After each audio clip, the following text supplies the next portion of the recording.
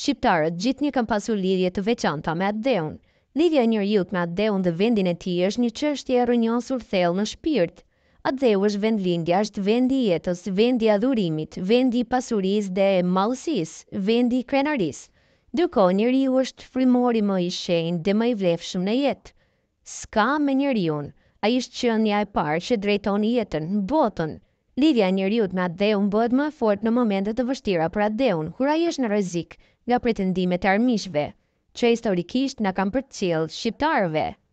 Fatmirësisht, kombi shqiptar gjithnjë ka pasur njerëz të ndritur, të cilët i kanë gjendur atdheut në momente kritike të tij. Luftëtarët ishin ata që i dolën zot popullit shqiptar, ishin fytyrat e ndritura të kombit shqiptar. Ndërsa, antiteza e patriotëve ishin politikanët të cilët zhvatën popullin e rraskapitur nëpër rropatjet e jetës. Siç thoshte edhe Konica i madh, Shqipëria lindi nga Zoti, shpëtoi nga rastësia, vdiq nga politikanët. Pothuajse njëzet e pesë vjet pas çlirimit të Kosovës, askush s'do ta besonte se emigrimi do të bëhej rruga e vetme për një vend pune. Gjatë luftës mijëra njerëz si refugjatë ishin strehuar nëpër vende të ndryshme të botës, me shpresën se më në fund erdhi liria dhe do të jetonin jetën me dinjitet si të gjithë qytetarët e ndershëm të Europës e botës, por u gabuan. Në fakt, u zhveshën nga maska ata që thirreshin në emër të luftës dhe të çlirimit, vetëm nga shtatori i vitit dy mijë e katërmbëdhjetë deri në fillim të shkurtit të dy mijë e pesëmbëdhjetës, nga Kosova u larguan mbi dyzet mijë qytetarë shqiptarë. Ikjet vazhdojnë.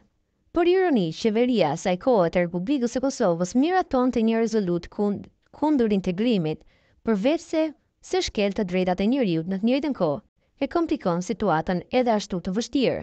Njerëzit ka rrezikuar me vdekje për një jetë më të mirë pasi në Kosovë s'ka parë frymë të jetës, s'ka perspektivë e për më tepër njeriu i ndershëm vuan sepse nuk është si të tjerët, kjo situatë tragjike më kujton veprën e Victor Hugo, Njeriu që qesh. Ky roman i fundit në veçanti është një vepër pak e njohur në të cilën shfaqen opinione dhe angazhimi i tij politik. Në këtë roman autori paraqet korrupsionin në klasën politike, ku dashuria e pastër dhe e dëlirë, lakmia për prestigj, luksi si hobi, të gjitha këto pasione janë mbledhur në të njëjtën shoqëri, që diferencohet Për dukje dhe që nuk harron të shikojë më tutje, por vetëm të qesh me fatkeqësinë. Finalja tragjike e romanit nuk e pakëson besimin në çlirimin e ardhshëm të njerëzve të shtypur, sepse në anën e heronjve mbetet forca e pathyeshme e drejtësisë morale. Sot, sfida kryesore është ndalja e shpopullimit të vendit, pa njerëz, as liria s'ka kuptim.